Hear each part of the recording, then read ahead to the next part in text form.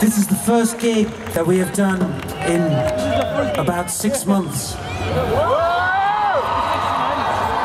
As I've been hiding in the studio preparing my next record, which comes out next year. And it feels really good to be back on stage.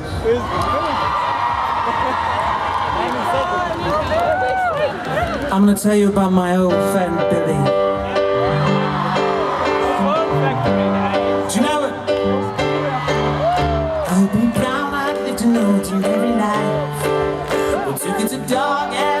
On wife. While was all going according to plan, then Billy Brown fell in love with another man. Came into his lover almost every single day. Making excuses for his dodgy holiday. On some religion,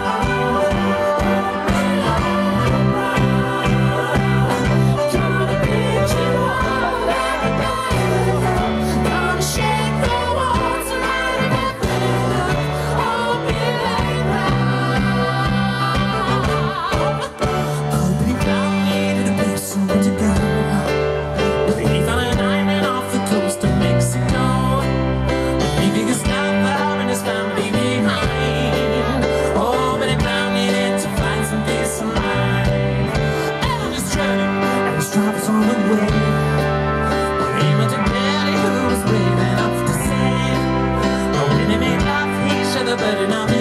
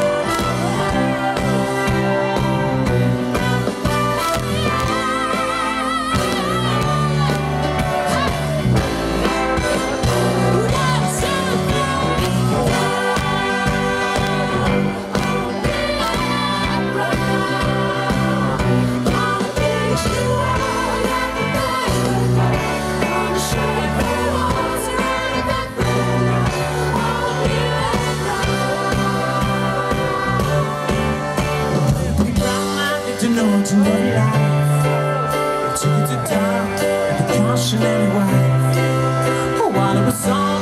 going according to plan, then Billy Brown fell in love with another